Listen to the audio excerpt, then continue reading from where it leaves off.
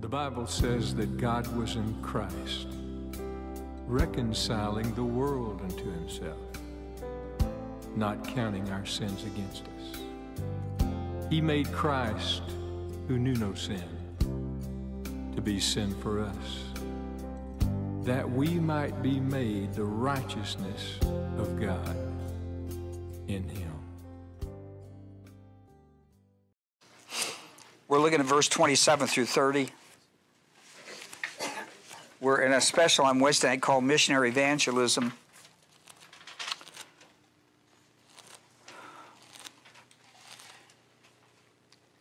And the, the little book of Philippians is really a great book on this subject matter. Um, Paul really liked the Philippians. Little church of Philippi really did phenomenal stuff.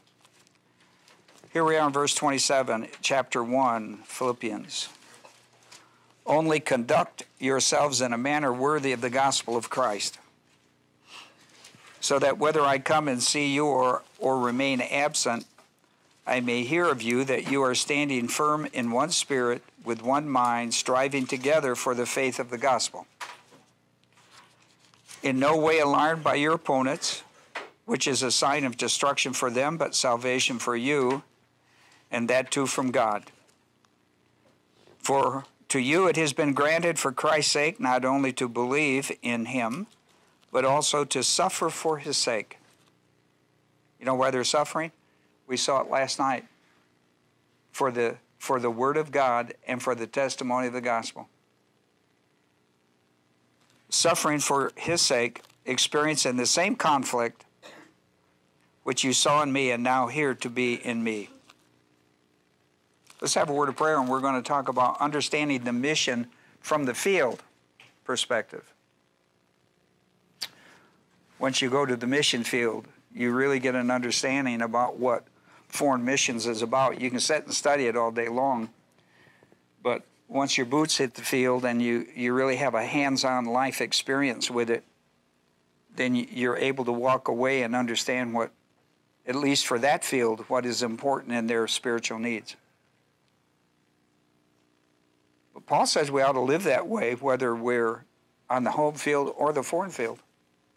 We ought to conduct ourselves in a manner worthy of the gospel of Christ, whether I'm there or here or there. Should be that standard that we set. Let us pray. I give you a moment of silence as a believer priest indwelt with the Holy Spirit, the privilege to do inventory spiritually of your life to be sure that you study the Bible. It's a spiritual book for spiritual people, for spiritual living, and that requires the ministry of the Holy Spirit. So I encourage you to examine your life in regard to personal sin, mental attitude sins, sins of the tongue, and overt sins. These should be confessed in silence and privacy prior to study. 1 John 1 9, dealing with sanctification, says, If we confess our sins, He's faithful and just to forgive us our sins and to cleanse us from all unrighteousness. And you say, you said that's important for sanctity. It is because it's a believer's life in regard to the Holy Spirit. Personal sin is, is a result of carnality. Carnality. You confess it, get back into spirituality, the indwelling ministry of the Holy Spirit. So I give you a moment to do that. Both those are with us in our study as well as those who are home on the internet. Father, we're thankful tonight for these who have come our way to study with us on the subject of missionary evangelism. This occurs on the home front as well as the foreign front. Uh, being a missionary of the gospel of Jesus Christ and ambassadorship is so important to our existence as a church, as custodians of the Word of God and evangelism. I pray tonight, Father, that we would be able to see how important it is, both on the home front of missions as well as the foreign front. And we're talking about how important it is once you get your feet engaged in mission work, the things that you learn that. Uh, that are capable of developing a ministry out of your life uh, based on needs of the people on the field rather than a pre pre concept of what you think they might need. Once you get there, you see what they really do need. So we, we, we, we pray for that to, to look at how Paul discovered these things, and we'll look at what Paul discovered and see if it could be beneficial to our life as a missionary and ambassador for Christ. In Jesus' name we pray, amen. Last week we studied how Paul clarified his westward direction of ministry off of his second missionary trip when uh, he was in Asia Minor and got the call to go westward. And the rest of his life was to follow that, that lead. And um, with the exception of one time when he went east, uh, Paul did did great in that directions, and we're reminded when Paul went east rather than west how important it is to pay attention to the directive will, the details of the directive will of God. When God tells you to go one direction, you go to another direction. Just like Jonah, you find out that's not a good idea. So, you know, once you hit spiritual maturity and maintain it, then you got to pay attention to details, details of the will of God. The book of Acts, when you look at Paul's missionary trip, three of them are recorded. Many of us believe that Paul made a fourth trip uh, somewhere between 62 and 66 to Spain. But it's not recorded in Acts. Uh, but he talked a great deal about it. Whether he ever went or not, nobody knows. But he did talk a lot about it. And he had the time to do it. But because it's not recorded, all three of them are recorded, so everybody says Paul had three missionary trips. Okay?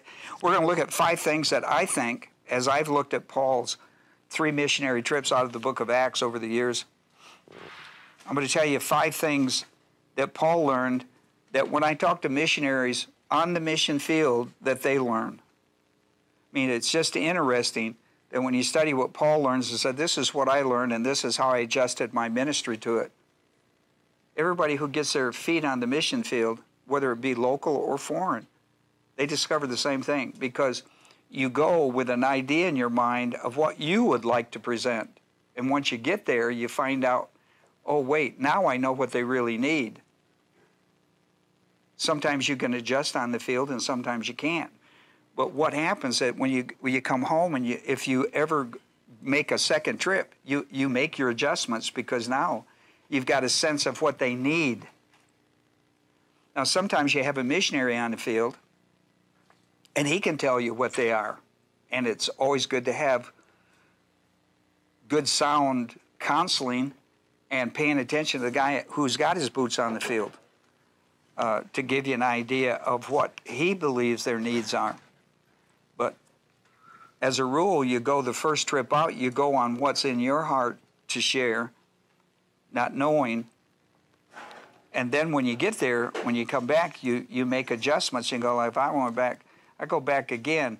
And, and Paul's going to tell you wh- why, why it's important to go back again and how you should evaluate that. So I'm going to talk about five things that I believe Paul learned um, from understanding the mission field understanding the mission from the field. You know, this is true with home missions too. You know, you you go to the you go to the retention centers or you go to the nursing homes or or you go to the high schools or wherever you go. Quote, you get your feet wet and you learn a lot about just the ropes. Just there's just a whole lot of things that that you have to learn just about the exercise of getting there, being in a pocket of uh, volition. I mean, there are all kinds of things. Sometimes it's traveling, sometimes it's weather, sometimes it's structures. There's all kinds of things. Sometimes people require things from you. Um, there's just a whole lot to it. And so once your feet get, once you get in it, then you go like, hmm. So uh, here's the first thing. Here's the first thing that I think Paul learned. This is just purely my observation from his strips. And, and what I, I listen to other other I'm interested in always talking to missionaries that I know that go to the field and stay. That really give you a, a heads up. And so here, Paul learned that here, and everybody's going to learn this. Man, I don't care where you're going on home missions or foreign missions, you're going to learn that positive volition is one of the big things that Paul learned, and he teaches about it all the time. He writes a book when he writes a book to the Romans or the Corinthians or the Ephesians or the Galatians, I mean, when he writes a book back to these people, he going to talk about this. And that is positive volition at God consciousness. When he writes back to the Romans, in the first chapter, he talks about how important it was to relate to people on the order of creation. For, that's just for an example. Uh, when he got out there, you know, it was one thing when he's dealing with Jews. When he got out dealing with Gentiles, he had to adjust his whole his whole idea of approaching people, and uh, the character of God became a big issue. And so, one of the things that that Paul learned that was important to him, he understood it before he went, but then when he got got on the field, it drove it home, and that is positive volition that God consciousness allows God to give a gospel hearing. It's a wonderful thing when you wind up eh, when you wind up on the other side of an open door, and that is into the ministry. You should have the confidence to know. Now, it's not going to be without conflict, but you, because Paul says that, doesn't he? Say now you're experiencing some of the conflict I had when I when I brought the gospel to you. I, I was in great conflict. Now you're taking the gospel to other people. Now you're finding what conflict is. I mean, the devil does a lot of things to hinder you. The main thing is to make sure that what he's hindered you is outside you, not in you. Agreed? And because you expect it outside, but if it ever gets inside, he, he's got you. he's got you for a while, anyhow. So always deal with this stuff on the outside. Do not let him inside. So uh, Paul learned that, that God consciousness allows God to give gospel hearing. So when you wind up on the other side of the door, there's one thing you know for certain that there is positive volition there. You would have not been sent. And and and listen, the first the first positive volition that you've got to tap into is God consciousness. That's how you're going to relate to the person. I mean, you got to relate to him on a God conscious level in order to give him a gospel hearing. And so you're going to find Paul always testing, no matter who he's with. Doesn't matter if he's with, with Nicodemus, uh, a, a, you know, a religious guy, or somebody that just walked out of a temple. He is going to test their volition towards God. he goes to Athens. What's he do? He, he looks at all the idols and the, boom, there he is. I mean, he's all over. He says, Hey, I see you got an unknown God. Let me talk about the unknown God. I mean, I don't need to talk about the God you know about. Let me talk about the God you don't know about that I've come to tell you about him. See, so he starts there. So uh, this is very important that you, when you, when you wind up at a nursing home because the door opens, or a high school and the door opens, or the Philippines, or Myanmar, or wherever you're going, I mean, understand that the fact that you're going is an open door. The fact that you got in is an open door. And on the other side of that door is positive volition. First, you have to tap it into God consciousness, and then you tap it into gospel hearing. Right? And everybody has a method to do that. Um, I guess Horton, I haven't heard him in a pretty good while. Next time he gets around my area, I'm going to go visit him. But he always used humor he always used something that young people he, he had he was with young people always used something to tap in to see if if I could if they would be uh, are, will you let me talk to you you know a common denominator will you let me talk to you and um, and that's and if they do and it takes you just a little bit but once you get that once you whatever your method is uh, the person eases up, settles down, relaxes, boom, now you got it. Because they've given you permission to talk. That's a wonderful thing. And uh, everybody's got their own little niche on how to do it. But what you're doing is you're testing volition, you're testing positive volition in that group. Are you going to get 100% all the time? No. no. Of course not. You're not there. I mean, only guy I ever knew that ever went out and got 100% was Jonah when he finally went. I mean, he got everybody. I mean, got even, even the cats liked him. You know, the little dogs and cats. I mean, that's, I mean, he talks about it. It's pretty amazing. Well, um, one of the things that Paul learned, I think, through his conversion experience, and he talks about it, it will serve you well to listen to Paul's personal testimony in the book of Acts. That I wrote down your paper. It will serve you well to listen to how he talks to people uh, with his personal testimony.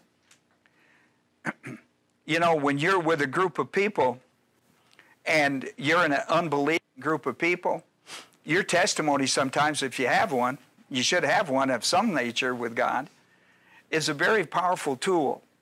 And you're going to see Paul use it, at, at, like some people, listen, I'm not a guy that can walk into a group of people like Horton can and just connect with humor. If I did that, uh, they pick up phones. Okay? I'm not that guy. I am not that guy. But everybody's got to have a quote stick, you know, a stick of some way uh, to do that. Now, Paul used testimony. He used his testimony.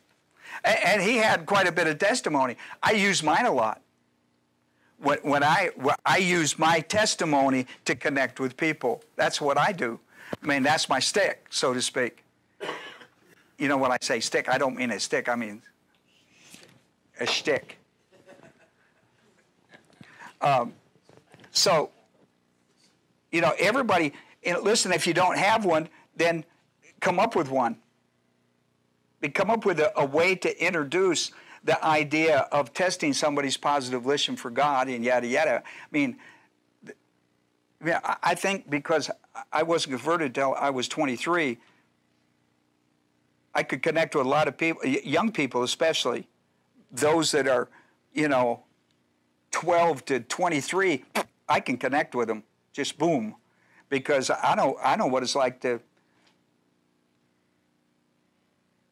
be lost between 12 and 23. and so, you know, I got a lot to relate about that and then my conversion experience. Well, anyhow, you got to tap in there. And so, Mr. Farmer was really wise about this. Mr. Farmer said, Don't assume in America that everybody understands God. Don't assume that everybody understands God anywhere. I mean, they may understand there is a God, but they don't understand God. So for him, always tapping into who God is is a very important issue because people are all over the place when it comes to an understanding about God. Uh, one of the things I like about Paul, Paul is in court. In one of his testimonies, what,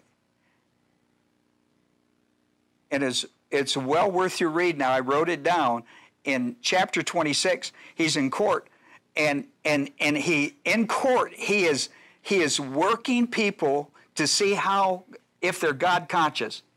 And I wrote it down in chapter 26, 19 through 28. You read it later and watch him work. He's at court. He's in court.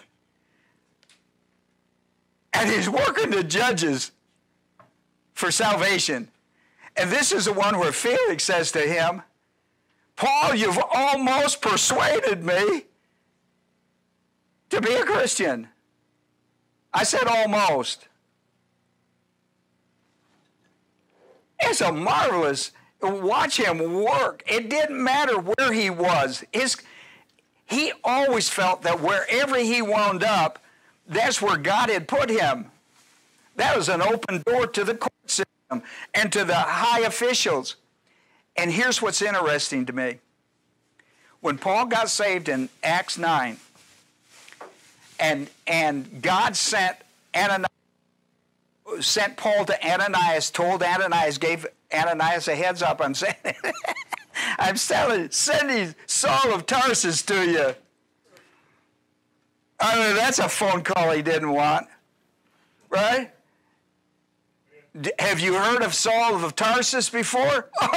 Oh, I mean, fear fell over your heart. And and and and he's got he's got death certificates in his back pocket in Damascus, where Ananias is.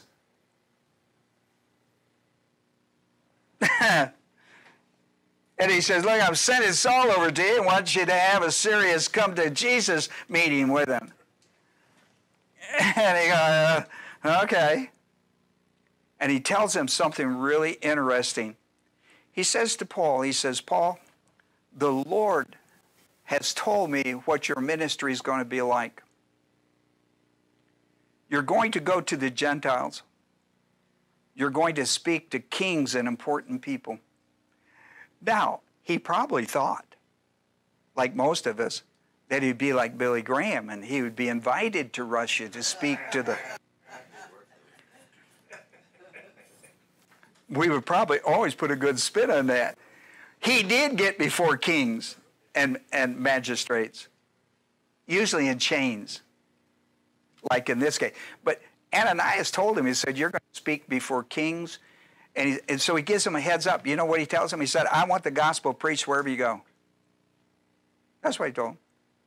I'm going to put you in front of all kinds of people.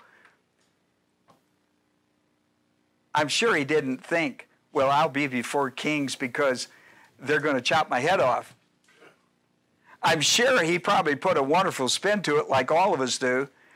Uh, Ron, I'm going to call you to be a pastor. Okay, I'm, I bet I'll have one of those big mega churches because I'm that kind of a guy. I can, oh, I can build it. I can do this thing. Yeah.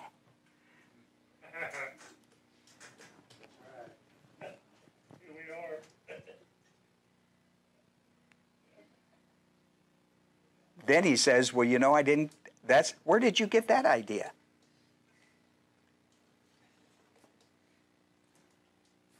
I just said, You were going to teach. Then I told you it never matters how many, right? Right. Well, where did this multitude come from?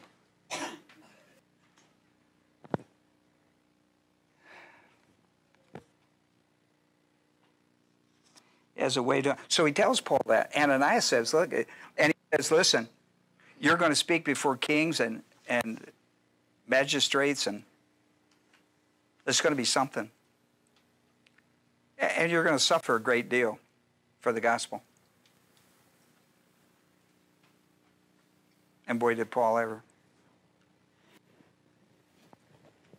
And we're reminded in the book of Philippians, aren't we? In the first chapter, verse 29 not only to believe, but to suffer for my name's sake. Listen.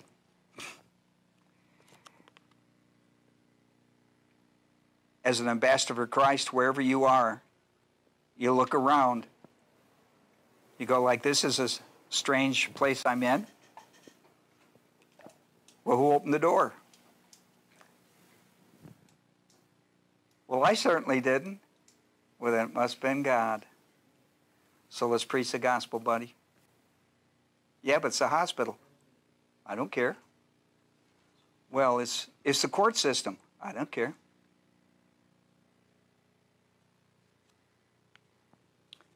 So that's what an ambassador for Christ does. And what Ananias told Paul is that I want you to be an ambassador for Christ. He just told him in, in, in, in technical terms. I mean, we are, are we not all ambassadors for Christ in Christ? I mean, it's a positional truth. How come we don't spend enough time thinking about where, where our periphery is? I mean, I learned from Chuck Farmer.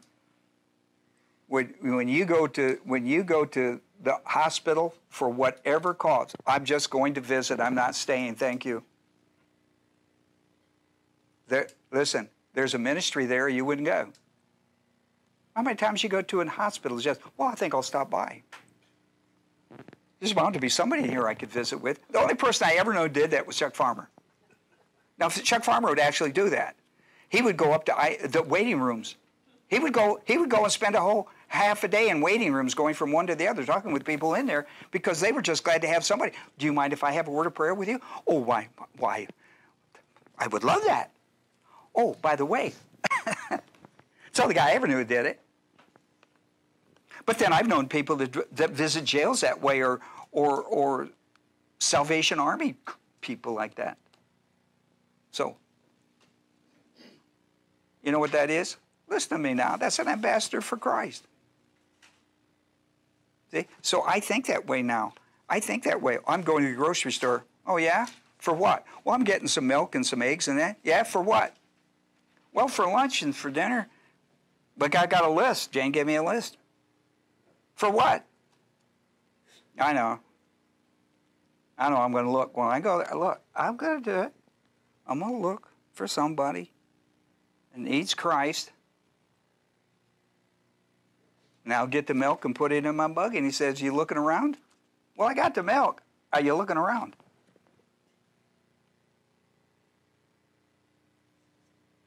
So, yeah, I might as well go prepared to do that instead of being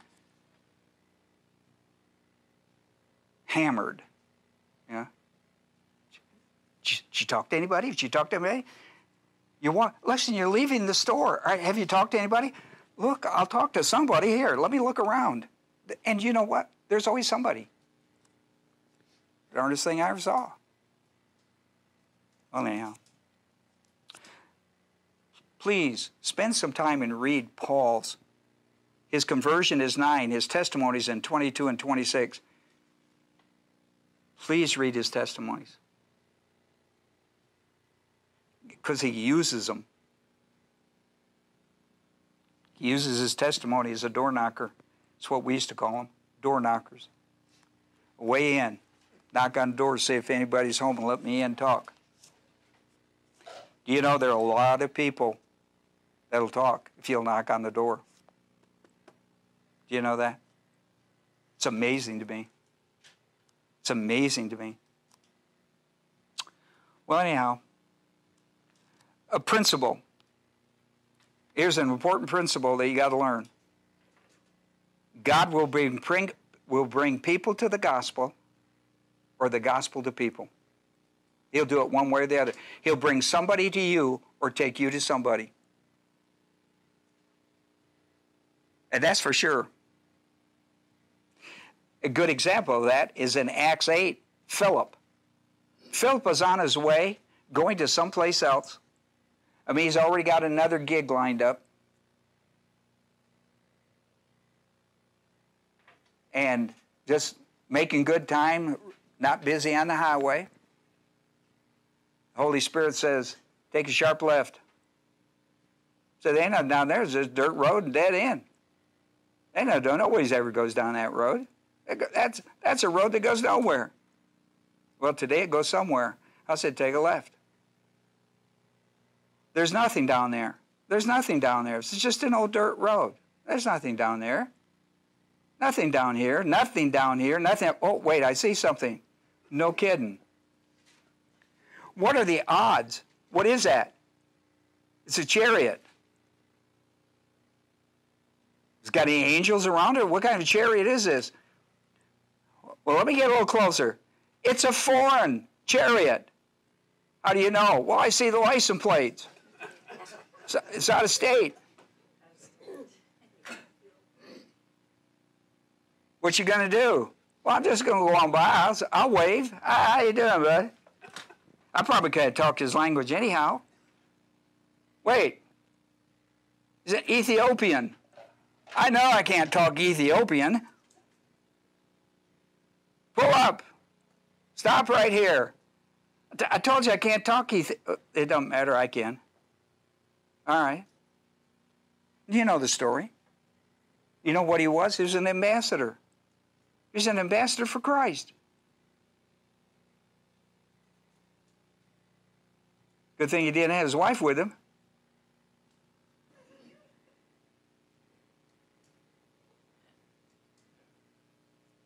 I'm just.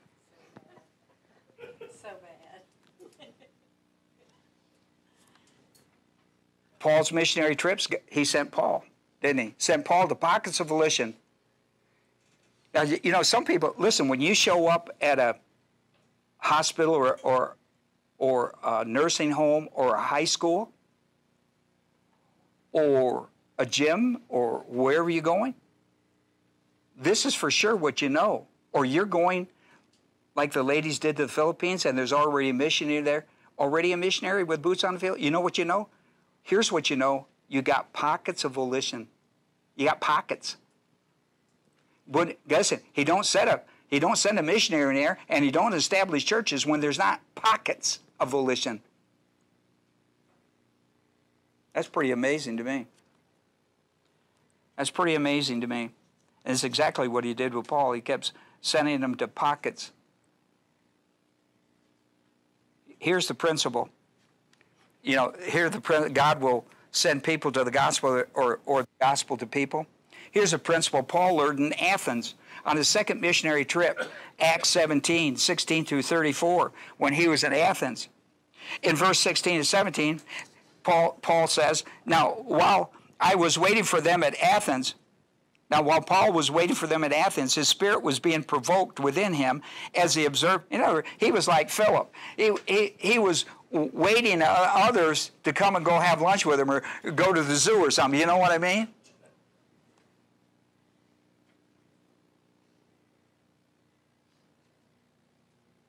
That's what are you doing? Well, I'm just sitting here on the park bench waiting on. Uh, well, get your eyes open. Been sitting here to sit around and wait and watch the birds. You know about the birds. You know I'm the creator of the birds. We don't need to go through that exercise. Get your eyes open on people. So I was sitting there on, a, on the park bench at Athens, just looking around, and my spirit became, became provoked within me as I observed the city full of idols. He had been reasoning in the synagogues with the Jews and the God fearing Gentiles. So he's in Athens. And in the marketplace, he, let me tell you, he'd been better off in the marketplace than he was in the synagogue, wasn't he? Yeah. Neither one of them were working good in Athens. Listen, this is what he did. He did this every day. with those who happened to be present. Isn't that good? Sitting on the park bench, what you doing? Well, I'm waiting on people to show up because we got another gig to do. Oh, yeah? Well, how about start looking at people? I didn't say here just to sit around and do nothing, big guy. I'm going to send you people. When they didn't come to him, he got up, moved around the park, and play, the, the park and the marketplace and talked to people looking for positive volition to share the gospel of Jesus Christ. Why do you do that, Paul? I, I can't but do it. Woe, woe unto me if I don't do this. Woe unto me if I don't do this. I can't, I can't help but do this. That's the way I feel. Why do you do Why do you do that? I, I have to. I am compelled within my soul. My spirit compels me to do this. I don't know. Man, I didn't I didn't go to school to get that. Paul's sermon at Mars Hill in Acts the 17th chapter 22 through 31, well worth your time to read sometime. R- remember, God's consciousness and gospel hearing, listen to me, does not guarantee salvation. You can, you can, you can, you can wind up with positive volition and, and, and, and everybody is receptive to listen to you preach the gospel of Jesus Christ. That don't mean they're going to get saved. It means that you have the privilege to give them a hearing. That's all that means. Each person must personally believe the gospel of grace salvation in order to be saved.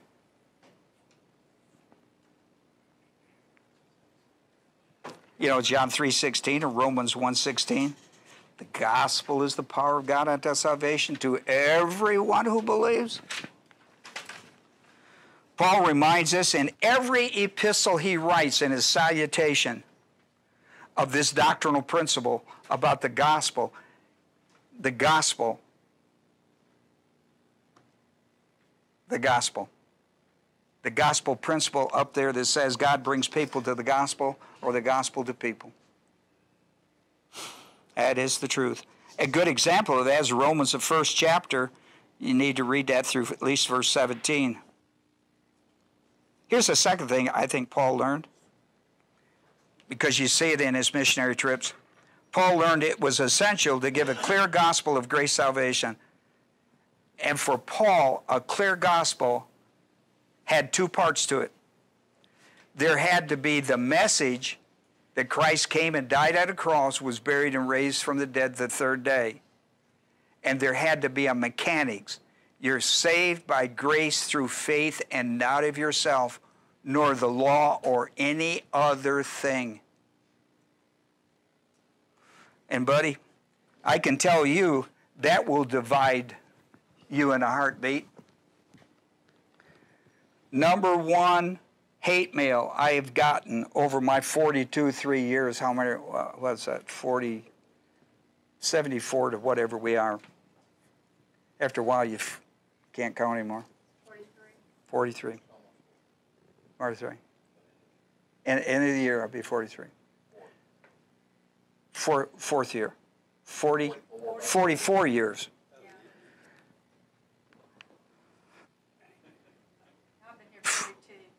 How did that happen?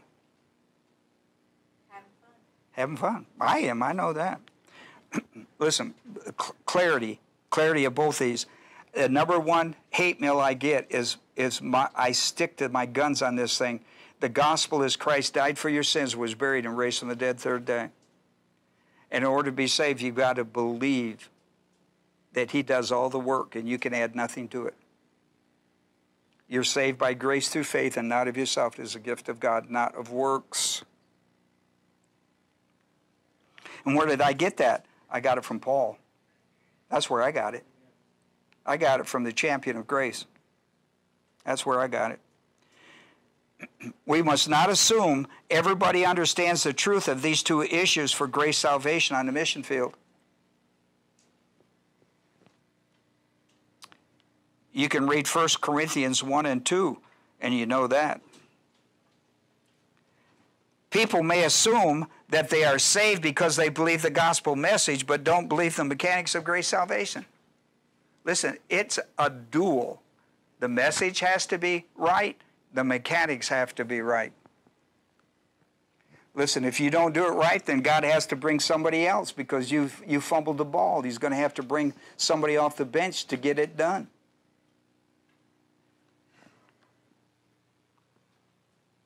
Listen, this is really clear in the first church conference in Acts 15. This thing was just as clear as a bell.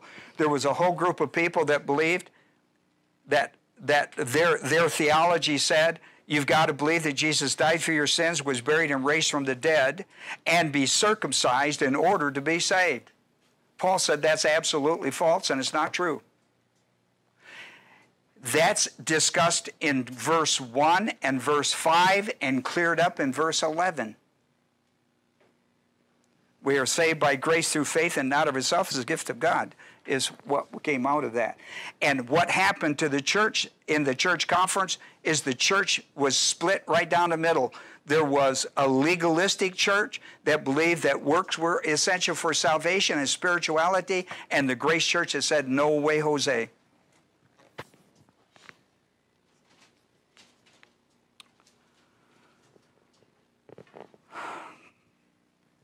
Let me show you something about let me show you something write this down because i didn't put it down there on ephesians 2 8 9 let me give you something. In in ephesians 2 5 and 8 paul says for by grace are you saved. He says it in verse 5 and he says it in verse 8 for by grace are you saved. All right? Both in verse 5 and verse 8 paul does something really unique he these both times when he says you are saved, he puts them in a perfect periphrastic. Both of them are perfect. Now, a perfect periphrastic means that there is a an eimi verb. There's an eimi verb. That's an is.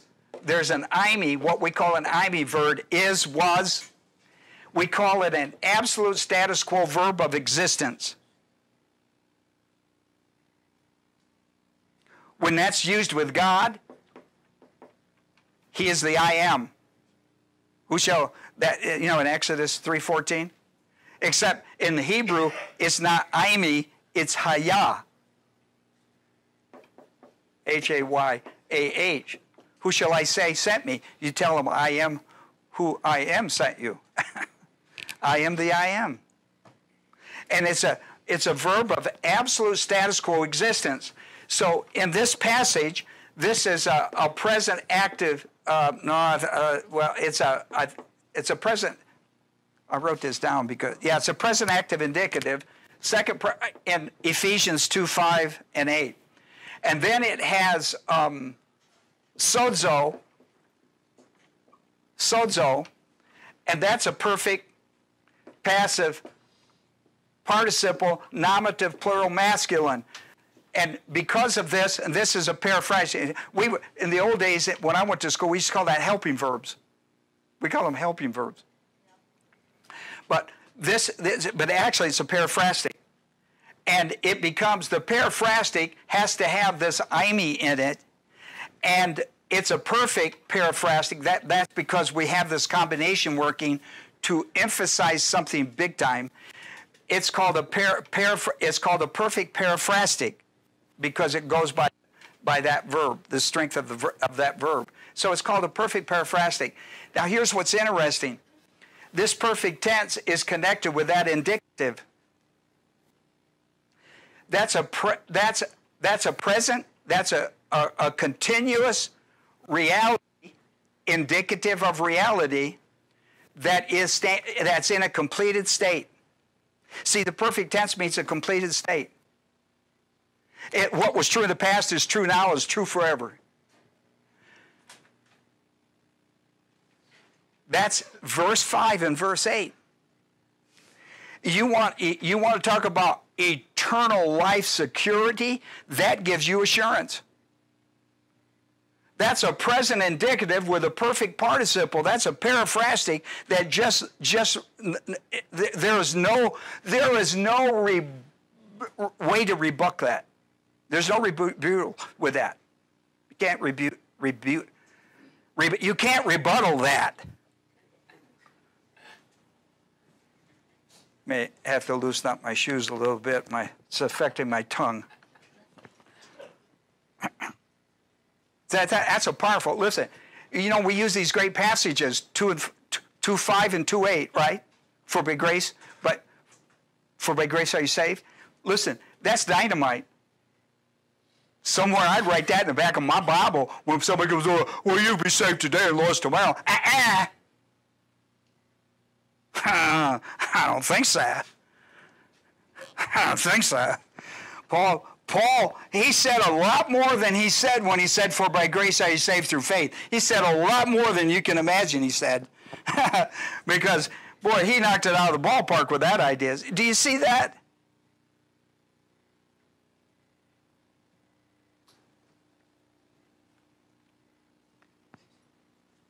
In Acts 15 11, when they finally settled down that you're saved by grace through faith and not of yourselves, the gift of God, you can't add anything to it, it nullifies it. That's what he said in Galatians 2:21. He says it nullifies grace. You can't be saved without grace. Works cannot save you. The work of Christ has to save you 100%. Jeez. So he says in Acts 15 11, something like, No, we believe it through the grace of our Lord Jesus Christ that we are all saved the same way, whether Jew or Gentile rich or poor, you know, whatever you want to do Well, don't you think that it's enough if you just believe the gospel and then just do whatever else you want in order to be saved? Isn't it important that you just believe the gospel? Well, it depends on what you're talking about salvation. Yes, the work of Christ is finished. Therefore, I can't add anything to that. So you must not. Well, I think I could, if I just believe the gospel, I could walk an aisle and be saved. What do you think walking the aisle? That, well, it's necessary. Or join a church or whatever. It nullifies grace. Without grace, you cannot be saved. Gee whiz. Just write me, send me the letters. because I am persuaded about what I'm teaching. Third, the third thing, third thing that Paul learned was first teach them basic doctrines of salvation. Don't make a trip thinking that somebody else has covered it. Don't go out there and say, well, you know, probably so and so. Teach teach basic doctrines on salvation. It's necessary to secure believers in God's grace. 1 Peter 2 2, newborn babes desire the sincere milk of the word. Why? In respect to their salvation, so they can be secured in respect, so they can be secured in respect to their salvation. 1 Corinthians, the third chapter, verse 2, Paul says, I gave you milk. I couldn't give you meat. I gave you milk. Mean, how important it is that, listen, I, have been in churches that have been in existence a long time. They, listen, they needed m- milk. There's no way you're going to give them meat. You go in, you throw out something, you go like, whew, I'm going to have to readjust this whole thing. Right there on your feet, you got to like, whoa, I was planning to talk about this. I can't do that. They don't understand. You know what I'm saying? So you got to go back to you got to you got to build it up. You can't. So that year I went in with meat, and now I'm down to milk. You know, so sometimes you got to be on your feet. You got to think on your feet. I've been at church where I thought, well, the pastor probably has covered some of this stuff. I get in there and I throw out, I begin to check it. You know, I throw out some stuff and they go, people look at me like, are you kidding? And I go like, oh, wow, I got to start from scratch. So I probably won't be here but a day or so. They'll scratch me. Listen, here's another thing uh, wherever you go. Be sure to leave your teaching material with key scriptures printed out. And listen, if you're in a if you're listen, if you're in a aged home, if you're in a retirement home, you got to up your you got to up your fonts. You can't go in there with 11 and 12. Right? You can't go in there with 11 and 12 fonts. You got to go in there with uh, 14, 16, something like that. I learned that from Chuck Farmer too. I went in there with 11s. Chuck says, you might as well leave that in the car.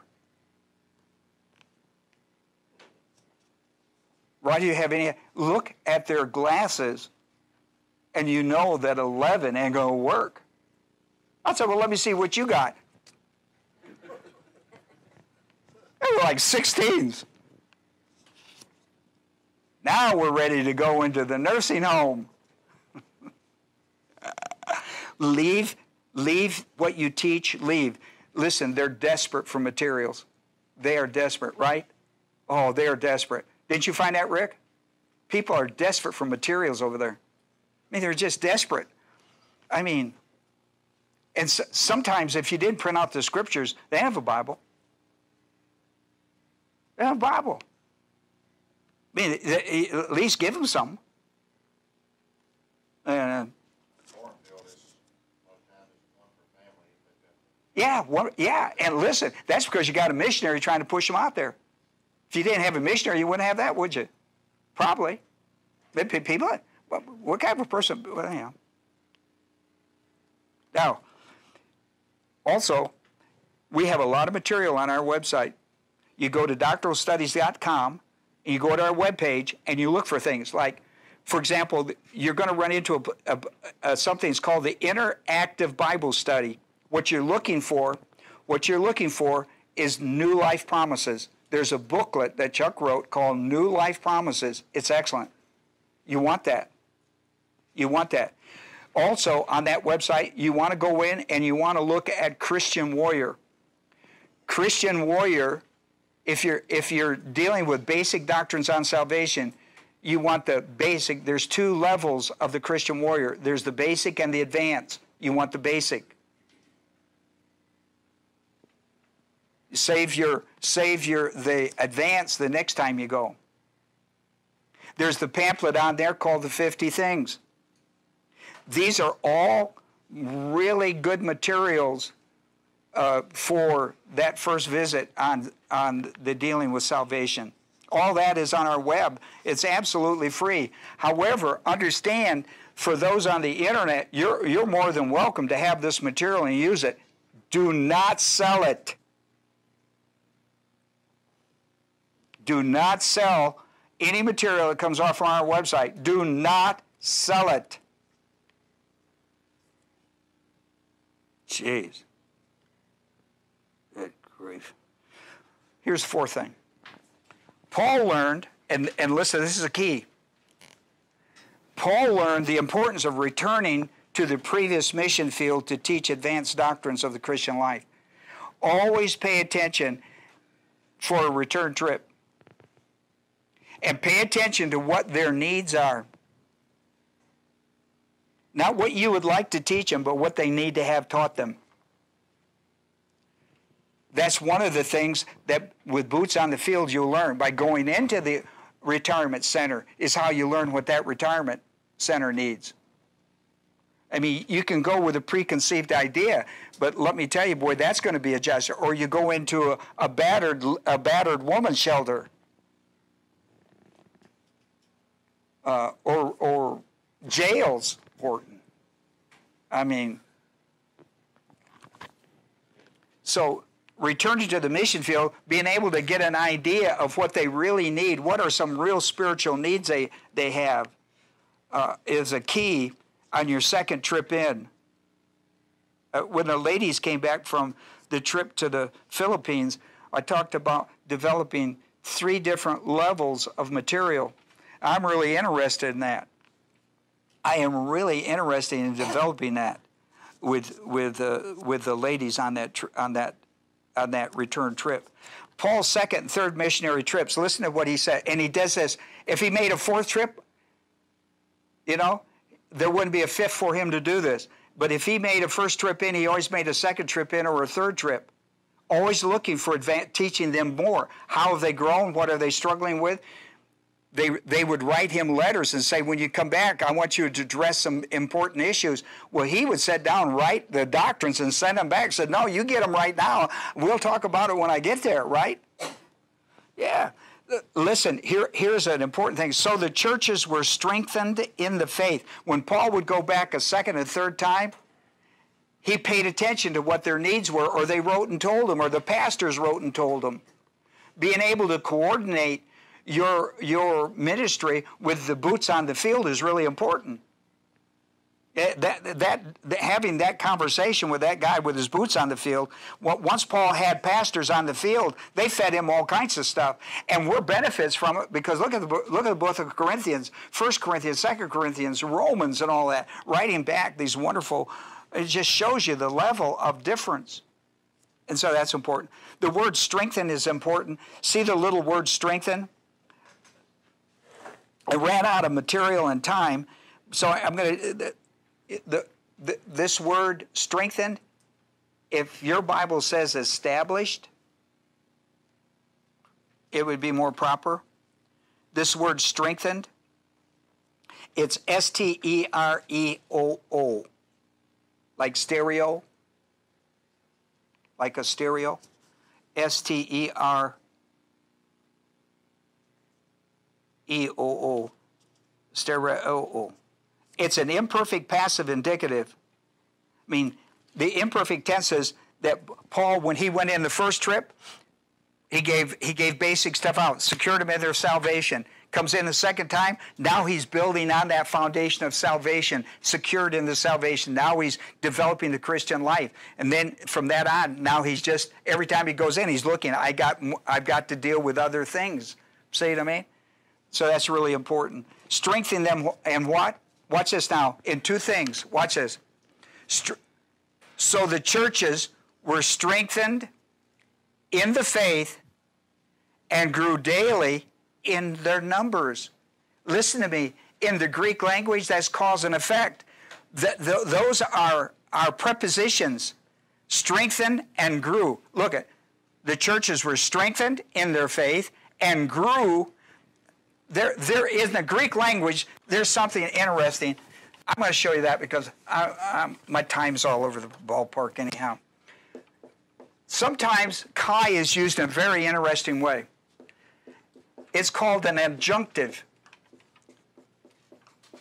It's called an adjunctive conjunction. it's called adjunctive. And when it's used, it's because he, he's bringing two nouns together that are important or two verbs. In this case, it's two verbs. I want to show them to you because he links these two for cause and effect. Cause and effect. Watch this. He says, So the churches were strengthened. Strengthened. That's one verb. Strengthen. That's one verb over here. Strengthen. With a kai. It's strengthened in the faith, right? Kai. And then another verb and another preposition. The so we got a strengthened, and then we got the word grew. Now, this this uh, verb for strengthen was an imperfect indicative. The other verb over here, grew, is an imperfect indicative. You see, now you can say, oh, wow, I can see that.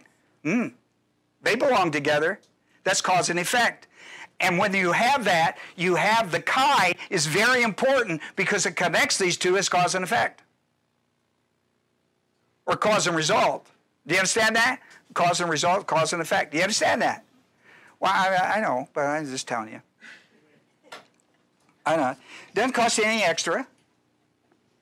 But that's really important. That's really important because Paul took the trouble to show you something that has a little, a little techni- technical, a, a little bit technical, that's really important to these two verbs. This cause and effect. Cause and result. He, he went to strengthen the church in their faith. As a result, the church grew in that faith. That was, see, there's two prepositional phrases with the first verb, in the faith, in the second one, in the numbers. The number of the people who are going to the churches. See, the churches is plural, and so we got numbers. So he goes in, he strengthens them in their faith, and their faith grows, and they grow in number. Why? Because they're, listen, they're mature believers who are now getting active in ambassadorship. They're taking the gospel to the people. See, Paul came in, he brought the gospel to the people. He has now trained the people. He has developed spiritual maturity in them. So now they're going, taking the gospel to their people. They're taking the gospel to their people, and their people are coming to church. That's the way the church is supposed to work.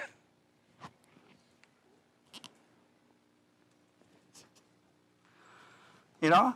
We want new converts. We want them to come to church. We want to help them grow and strengthen them in their faith. They're going to die out there in the devil's world without it.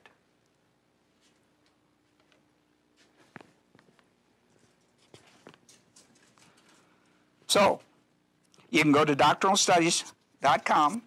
You could go into Christian Warrior, and there's an advanced course. There's an advanced course that says perfect for this. Also, here's also on our webpage, you can click into discipleship training. This would be good for this. There's another course in there called ambassadorship training. There's just gobs of material. They're all identified. When you go back a second or third time, or as many as God would send you, you got you got Bokusa material to start with, right? And then you add your own stuff. You spruce it up. It fits your personality, right? What are you after? Growing the, listen, strengthen the church so that the, the Word of God can get out there into the community in an effective way locally. Now, you didn't write it down. Apparently, it's not important. Listen, I don't have to write everything on your paper for it to be important. Right? Give me a break. All right. discipleship training and ambassadorship training should be there. All right. So you're after meat doctrines. You go in with salvation, now you're dealing with meat doctrines. Meat doctrines like spirituality versus carnality, the four life circles. The four life circles is a perfect place to teach that. Three stages of spiritual growth, teleology, baby believer, mature, immature believer, mature believer. People don't even know that. They've been in churches all their life. They go like, well, wait. And you, so you let them have the, let, let, the, let the Word of God test them themselves. You don't have to go like, well, you're a bunch of babies. You just tell them what it is and say, you know, you're in there somewhere. And the Holy Spirit will go like, bah, bah. and you go like, well, there you are. walking by faith, not by sight. Teach the faith cycle. The six stages of grace. I mean, there's just tons and tons of material. They need to know these doctrines so they can be strengthened in their faith so that their faith can take them outside them their own walls into their community and build their own churches. I don't need to have to keep coming back and coming back. At some point you become an adult church right? You raise your own family. Okay well the rest of it the rest of it is time to go Okay, the rest of that you can read.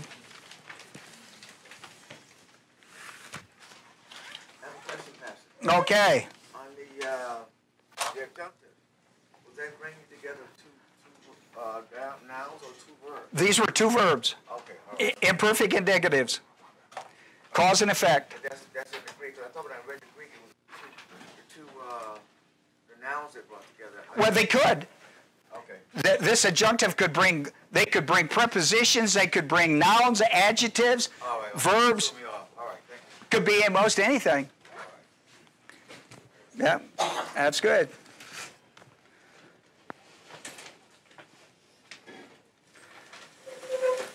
All right, Rick, give us a good missionary prayer. We need a good missionary prayer. Father, we thank you for this message. Thank you for the challenge. Uh, are always looking for our own growth, for our exhibition of our priesthood and our ambassadorship. Mm. Fulfill the uh, Great Commission. Mm. You are interested in the salvation of every person, every human, and uh, at least to give them a chance of hearing the gospel. Mm.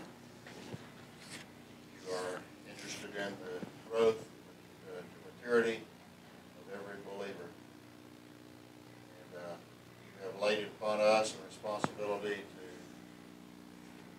to be your agents for that purpose. Mm. We thank you for your trust in us, Mm. but uh, most importantly, we thank you for you providing the means for us to do so through grace. Mm. Your Word, through our own growth, through our assurance of salvation, through financial means, through all, every, everything that uh, we will need to carry out that mission. Mm. Help us to be aware of our, that mission in our our daily lives, each and every day as we go about our daily lives, as well as whatever other purposes, special purposes you have for us in life. Salute you as the source of all grace, and as our, the one that, well, to whom we represent the world, in Christ we pray. Mm-hmm. The Bible says that God was in Christ, reconciling the world unto himself, not counting our sins against us. He made Christ, who knew no sin, to be sin for us, that we might be made the righteousness of God in him.